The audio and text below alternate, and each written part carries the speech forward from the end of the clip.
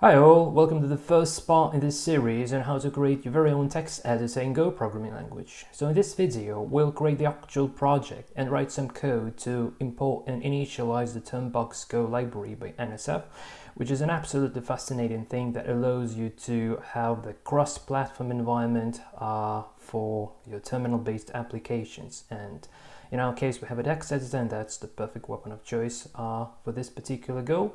So without further ado, let's get started. So I'm supposed to be writing the entire text editor within this particular text editor, which is called ego, for those of you who didn't know this yet. So I say ego, and to create a new file, I just say e.go. And here I have a new file, and I press E to enter the edit mode to actually being able to, imp uh, to input some text. And here I say package main, so create main package here then I want to import OS, so that's needed to exit on errors from the program. Then import FMT, uh, that's the standard utility to print lines in Go, so we'll use it to print uh, error messages if something goes wrong before we exit. Then we want to import the Termbox itself, and we're supposed to be importing this from the, the GitHub repo.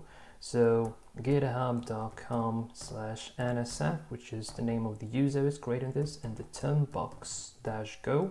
That's the library, and I also want to import uh, another one. So the rune width. So github.com and uh, met tn, and it call it's called go go rune width like this.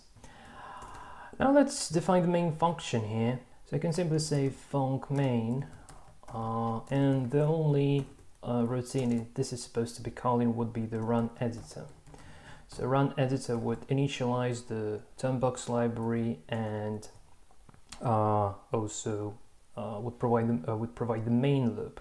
So here we have the func function run editor and this is supposed to be doing the following. So I'm catching the error, so I'm creating this error variable and I assign uh, the termbox.init. So if something goes wrong uh, with initialization, we can say if error is not equal to nil. In this case, uh, we just print the error message. So if fmt print line and the error itself. And then we say os.exit with a status code 1, which means that something has gone wrong. Then, if everything is okay, we want to print the message. We don't yet have this function, but we'll create this just right in a moment. So let's say uh, column 25, uh, row 11, and then the termbox uh, color default. So this is the foreground color, and color from the capital. Color default and the background is also going to be termbox.color default and the actual string so let's say ego uh, a bare bones text editor. All right um, so to make sure that this string would be uh, available on the screen. We need to flush it. So I can say termbox flush flush into screen is absolutely essential.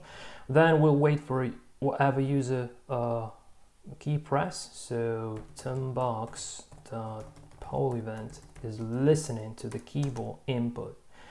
And then we just say termbox.close uh, so that we restore the terminal back to its initial state when we exit the program to avoid ruining the console.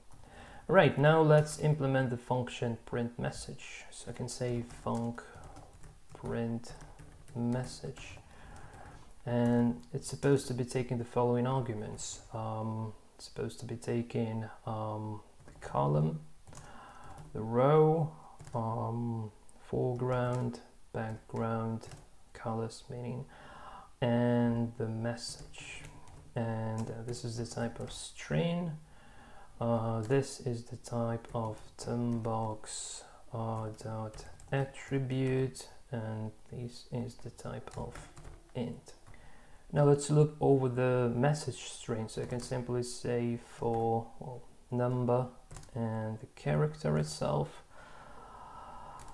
Uh, let's assign the range of the message and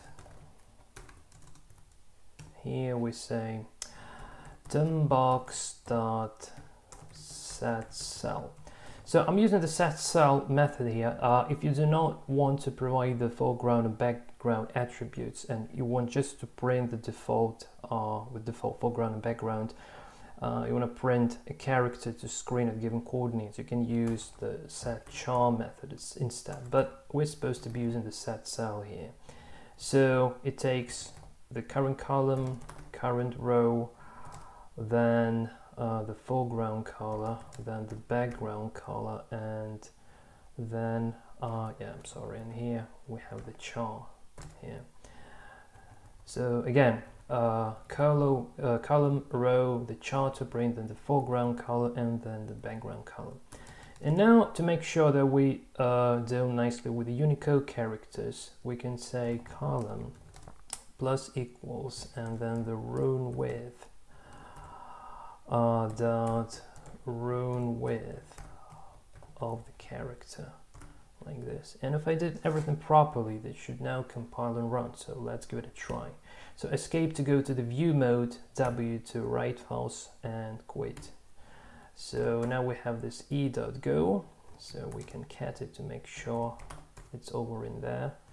Clear now um in order to build this project, I first need to run the command go uh, mod init and the mod name is ego. So just created this go mode file, which is good. And now after this, I can say go build uh, output file ego on Windows. You can say ego.exe. Um, I don't need this. Uh, and then the source file e.go and now it should uh, download all the libraries that it needs and then actually compile like build this entire project. So let's give it a try. Okay seems like everything works. So we now have the executable file ego. So let's run it. Ego and yeah we get our Termbox library being initialized and the message has been printed, which means uh, everything is working. Now if I press, press any key, it just drops back. So see you in the next spot. Until then, and cheers.